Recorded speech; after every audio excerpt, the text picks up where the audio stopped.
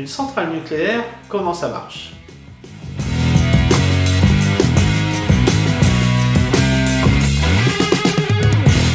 Une centrale nucléaire est une unité de production d'électricité. Elle fait partie de la famille des centrales électriques thermiques. En France, 70% de la production d'électricité est d'origine nucléaire. C'est donc la principale filière de production d'électricité, loin devant l'hydraulique, 11 fois plus importante que l'éolien, 30 fois plus que le soleil. Mais au fait, comment ça fonctionne une centrale électrique nucléaire? Avant tout, une centrale nucléaire, ça ressemble à ça. Vous avez sans doute déjà vu ce type d'installation, notamment les grandes tours d'où s'échappent de grands panaches de fumée blanche. Ces grandes tours ne sont qu'une partie des centrales nucléaires. Une centrale nucléaire, ce sont principalement trois bâtiments. Un premier bâtiment, le bâtiment réacteur, abrite, comme son nom l'indique, le réacteur nucléaire et les installations en contact avec le combustible nucléaire.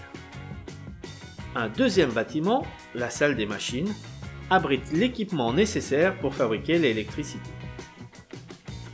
Enfin, dernière construction, les plus visibles et symboliques, ce sont les tours aéro-réfrigérantes qui représentent la dernière étape de refroidissement. Voilà pour la partie extérieure. Mais qu'est-ce qui se cache à l'intérieur? Commençons par le bâtiment réacteur. C'est dans ce bâtiment qu'on trouve les installations nucléaires nécessaires, et notamment le réacteur nucléaire. Dans le réacteur nucléaire se déroule la transformation nucléaire qui produit l'énergie primaire.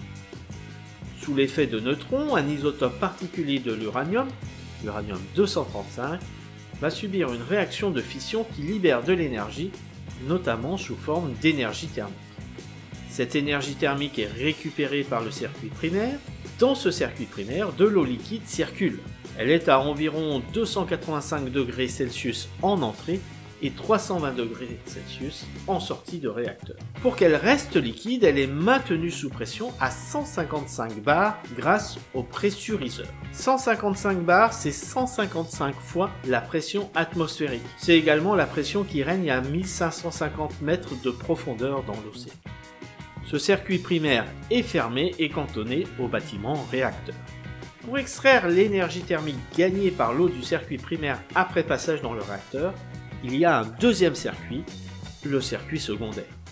Dans ce circuit secondaire, de l'eau circule à l'aide de pompes, elle est réchauffée au contact du circuit primaire, il n'y a que de l'échange d'énergie entre ces deux circuits, pas d'échange d'eau, ils sont indépendants l'un de l'autre. Cette eau est vaporisée, c'est-à-dire transformée en vapeur d'eau dans le générateur de vapeur. Puis, la vapeur est ensuite dirigée vers une turbine. La vapeur entraîne cette turbine, cette dernière est reliée à un alternateur, et un ensemble de transformateurs qui produisent de l'électricité. Du courant alternatif, très haute tension, généralement 400 000 volts.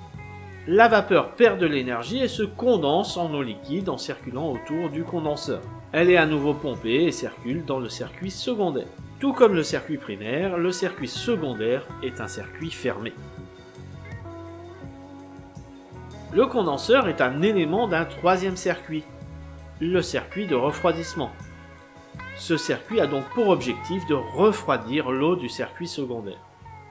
Le condenseur récupère l'énergie thermique de l'eau du circuit secondaire. L'eau du circuit de refroidissement est alors envoyée vers les tours aéro-réfrigérantes.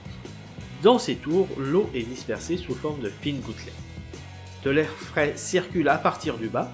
Une partie de l'eau se vaporise et est entraînée par l'air vers l'extérieur par le haut de la tour c'est ce qui forme le panache blanc. Comme les nuages, ce n'est que de l'air et de l'eau. Une autre partie de l'eau, refroidie sous forme liquide, est récupérée, puis pompée pour à nouveau circuler dans le circuit de refroidissement. L'alimentation en eau est complétée par un apport provenant soit d'un fleuve ou d'une rivière à proximité, soit de la mer.